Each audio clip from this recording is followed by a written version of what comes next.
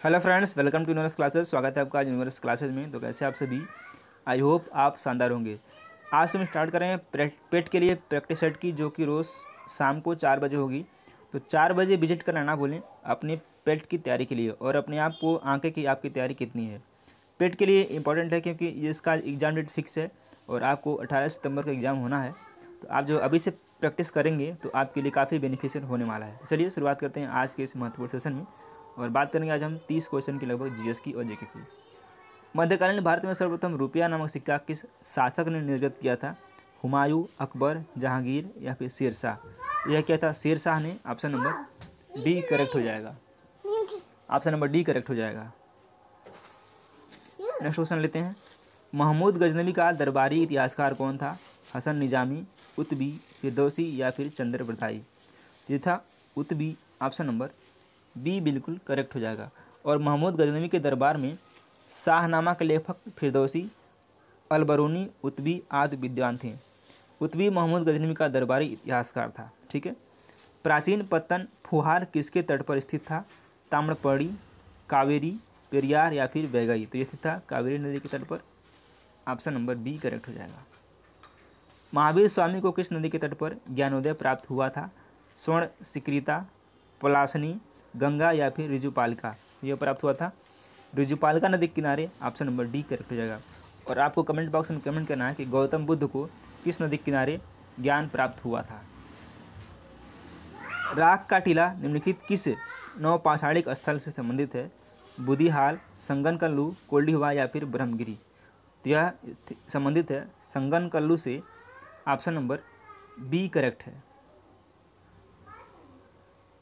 किस अधिनियम के अंतर्गत प्रथम बार भारत में चुनाव के तत्व प्रारंभ हुआ था?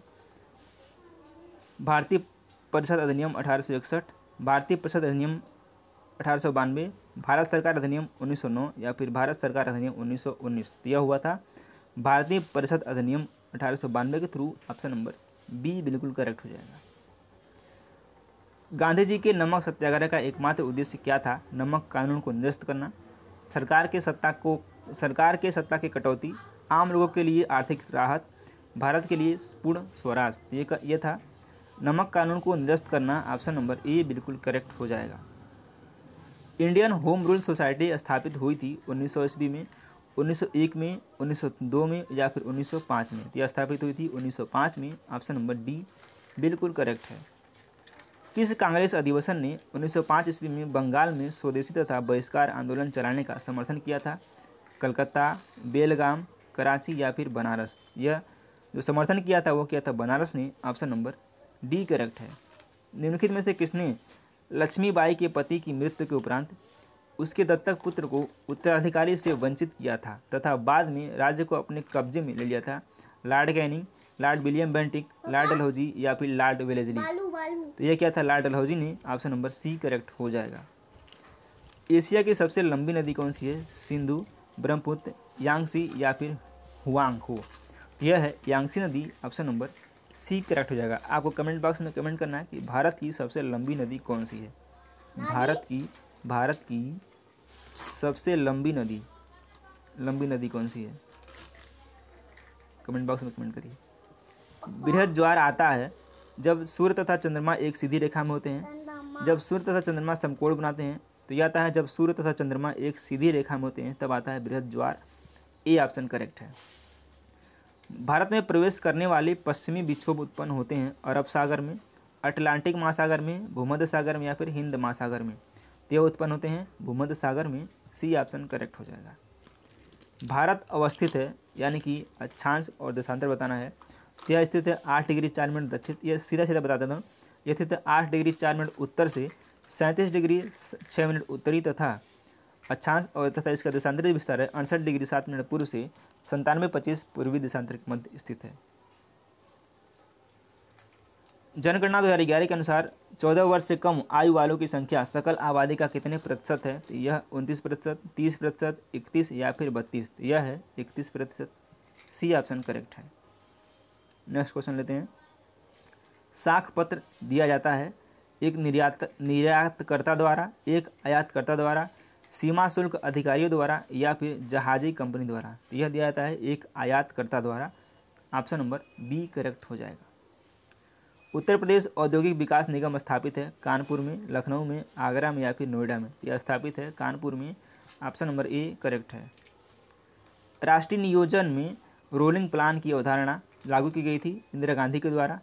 राष्ट्रीय फ्रंट सरकार के द्वारा, जनता सरकार के द्वारा या फिर राजीव गांधी के द्वारा तो यह स्थापित की गई थी। राष्ट्रीय फ्रंट सरकार के द्वारा बी ऑप्शन करेक्ट हो जाएगा। निम्नलिखित में से किसको मुद्रा की प्रति का विस्तृत माप माना जाता है? M one M two M three या फिर एम फोर को? तो यह माना जाता है एम थ्री को सी ऑप्शन इसका करेक्ट है। भारत का आर्थिक सर्वेक्षण संबंधित है, योजना आयोग से रिज़र्व बैंक ऑफ़ इंडिया से, वित्त मंत्रालय से या फिर वित्त आयोग से। तो यह संबंधित है आपका है। वित्त मंत्रालय से ऑप्शन नंबर सी करेक्ट हो जाएगा। भारत में स्थानीय शासन से संबंधित निम्नलिखित घटनाओं पर विचार कीजिए तथा उन्हें कालानुक्रम व्यवस्थित कीजिए। एल एम सिंघवी समिति, पी के थुंगा समिति, अशोक मेहता समिति, जी के बी राव समिति। तो ये आपको बताना है तो सबसे पहले बलवंत भारत सरकार ने जनवरी उन्नीस सौ छप्पन में बलवंत राय मेहता समिति का नाम गठन किया था। तो बलवंत राय मेहता समिति उन्नीस सौ छप्पन बलवंत राय मेहता समिति उन्नीस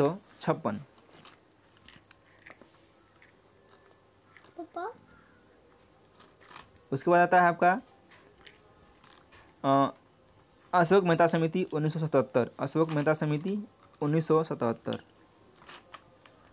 तो इसका जो करेक्ट ऑप्शन हो जाएगा सी ऑप्शन हो जाएगा उन्नीस सौ सतहत्तर, उसके बाद आया था आपका उन्नीस सौ पचासी में। उन्नीस इसका ऑप्शन नंबर सी करेक्ट हो जाएगा।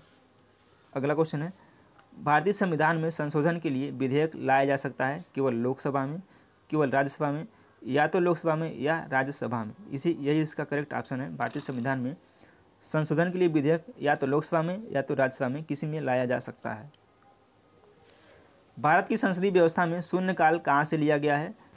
संयुक्त राज्य अमेरिका, यानी कि यूएसए, जापान, अफ्रीका या फिर उपयुक्त में से कोई नहीं। तो यह कहीं से नहीं लिया गया है? ऑप्शन नंबर डी करेक्ट हो जाएगा और यह भारत के संविधान की देन है। भारत में नागरिकता की निम्नलिखित विशेषताओं में से कौन सा सही है? राज्य तथा राष्ट्र की दोहरी नागरिकता, ये बिल्कुल गलत है। राज्य की एकल नागरिकता, ये भी गलत है। संपूर्ण भारत की एकल नागरिकता। तो भारत में संपूर्ण राज्य, संपूर्ण भारत में केवल एक नागरिकता है, न कि दो नागरिकता। संविधान सभा की प्रांतीय संविधान समिति का अध्यक्ष कौन था?